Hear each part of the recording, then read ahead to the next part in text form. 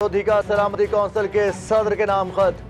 भारत की जानब से जंगबंदी के माहदे की खिलाफ वर्जी और हमारे शहरियों की हलाकत की तहकीकात की जाए। खत में मुतालबा।